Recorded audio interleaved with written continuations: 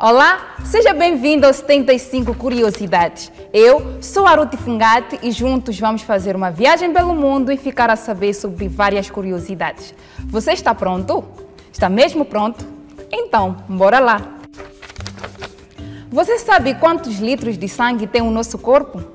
O corpo humano possui cerca de 5 litros de sangue.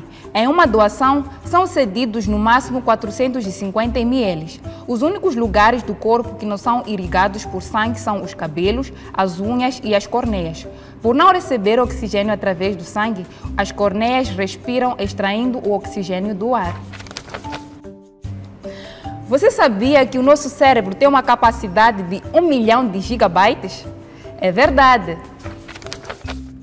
O cérebro humano possui cerca de 1 milhão de ligações entre os neurônios, o que corresponde a uma capacidade de armazenamento de cerca de 2,5 petabytes, que são equivalentes a 1 milhão de gigabytes. A velocidade para o processamento de toda essa informação equivale a um processador de 16,8 mil gigahertz.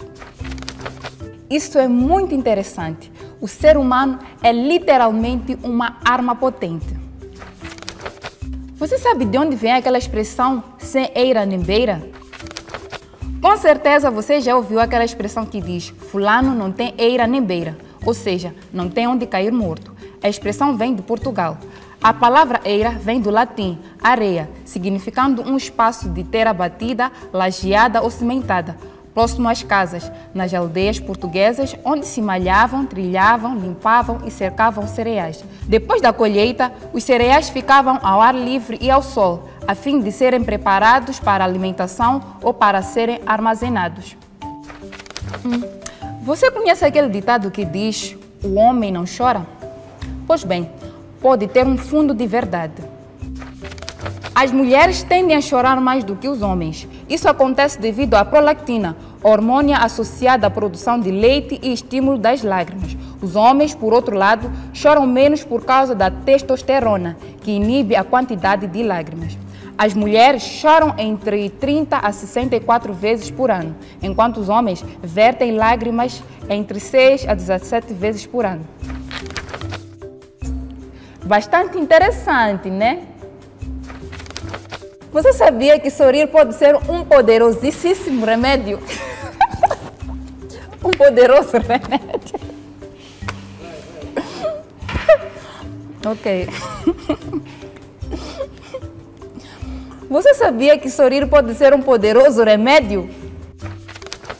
É, quando você solta aquela gargalhada, os níveis de adrenalina, hormônios do estresse, diminuem e o cérebro passa a produzir endorfina, uma substância que nos deixa relaxados. Com isso, o corpo produz mais células de defesa, fortalecendo assim o sistema imunológico.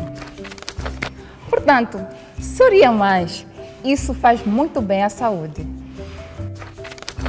Com certeza você já tentou tirar uma foto da lua, né?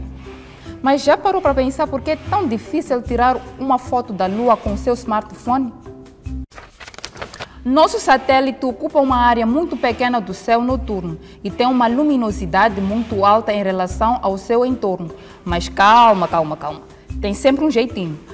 A Lua parece grande, mas na verdade ocupa uma área minúscula no campo de visão, que o celular traduz fielmente na tela.